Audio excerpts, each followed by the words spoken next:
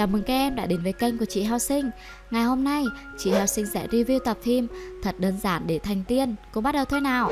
Nobita được thầy giao cho một núi bài tập để giúp cậu tiến bộ hơn. Cuối cùng, thầy cũng đã giải thoát cho Nobita về nhà rồi. Nhưng hình như đã quá buổi hẹn với đám bạn Họ đang bàn nhau về chuyến đi cắm trại gần nhà anh họ của Sunio Và bọn họ quyết định sẽ đi từ tối nay.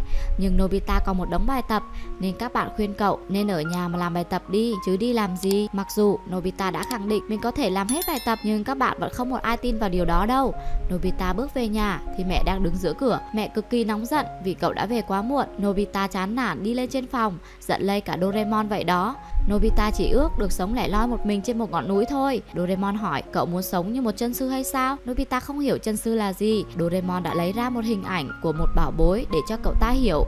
Truyền thuyết của Trung Quốc nói về một người chán ghét thế giới, lên núi tu luyện, sau những năm tháng tập luyện vất vả, thì người đó đã trở thành chân sư, có thể cưỡi mây đi, có thể cưỡi mây gọi gió, cũng có thể dùng suy nghĩ của mình phá vỡ một tảng đá. Sau khi nghe về điều ấy, Nobita quyết định mình sẽ tu thành tiên. Doraemon cũng không thể làm được vì cậu quên mất bảo bối huấn luyện thành chân sư. Tuy chỉ là trải nghiệm thôi, nhưng Nobita vẫn muốn dùng thử khi có sức mạnh, cậu ta sẽ làm bài tập dễ dàng hơn, phải không? Nobita quyết tâm, dù có khó đến thế nào, cậu cũng sẽ cân hết. Thế là Nobita Nobita lên đường. Chỉ một mình cậu đi thôi. Cậu bước qua khỏi cánh cửa là một ngọn núi non nước hữu tình, Mở bộ huấn luyện ra. Nobita thấy nó như bong bóng. Cậu bơm lên. Thì đây là một ngôi nhà của chân sư. Trông khá đơn giản. Thấy con robot, Chân sư vừa bấm nút khởi động. Nobita đã ra lệnh cho nó. Dậy mình mau lên. Vì cậu ta đang còn rất nhiều việc. Con robot giận dữ. Nobita dám hỗn láo với sư phụ hay sao? Đánh cho cậu ta một gậy. Nobita không phục Thì lại ăn thêm một gậy nữa. Cậu ta nổi điên. Dùng trong chóng tre đuổi theo con robot nó liền gọi đám mây đen đánh thành những tia sét vào Nobita. Nobita rơi xuống, được chân sư đỡ lấy. Lần này thì cậu ta cũng đành chịu thua và phải bái sư phụ. Sư phụ dạy cho Nobita những phần cơ bản nhất, cưỡi mây, nhưng tịnh tâm là gì thì cậu ta cũng không biết. Thế là đành phải học tịnh tâm trước. Nhưng không nghĩ gì, lại là lúc Nobita đang ngủ thôi. Lúc này Nobita chỉ nghĩ tới việc ăn và chương trình muốn coi, nên cậu muốn quay về. Chân sư đã giấu cánh cửa thần kỳ đi, cho tới khi chưa tập luyện xong sẽ không được đi đâu hết. Nhưng Nobita đã khá đói rồi, tập sao nổi nữa chứ. Chân sư phải đành dẫn cậu xuống chân núi cho Nobita ăn món xương khói.